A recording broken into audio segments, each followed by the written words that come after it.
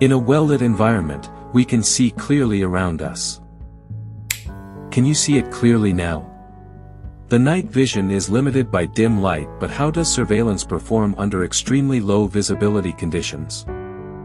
At night, surveillance cameras can exhibit both black and white and color image modes based on the surrounding light conditions. In low light or completely dark conditions, night vision devices utilize infrared night vision technology to enhance nighttime surveillance. It converts available light into black and white images, allowing video monitoring in low light or dark conditions. Additional lighting equipment can help with the transition from black and white to color night vision. It utilizes additional lighting sources and advanced image processing technology to achieve full color night vision. In order to better display the night vision effect, we will display at 10 feet, 15 feet, 25 feet position.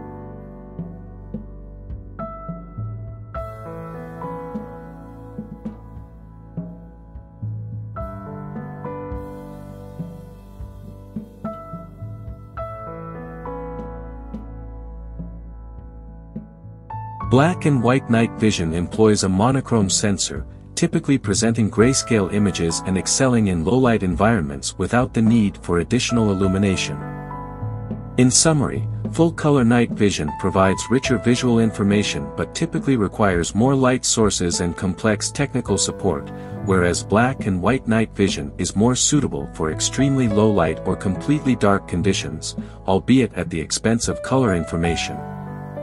In summary, Full-color night vision provides richer visual information but typically requires more light sources and complex technical support, whereas black and white night vision is more suitable for extremely low light or completely dark conditions, albeit at the expense of color information.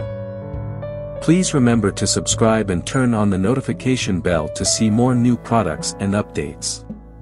Tell us what videos to do next in the comments below.